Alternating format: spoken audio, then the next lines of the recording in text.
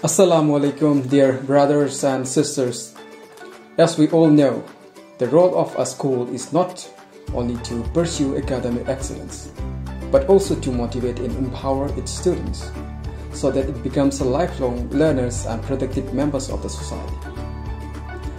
As our curriculum for young children provides all the areas of development like social, emotional, physical, and cognitive. We collaborated with Lead School from this year. We are proceeding with the existing world-class teaching methodologies. Student-centric practical approach is the only learning teaching process of Manipur Creative School. This helps to increase the creativity level of the students. One of the most exciting things about Lead School is the integrated system in a common platform. As we know this is the first year since we are collaborating with Lead School, we are expecting a lot from Lead School.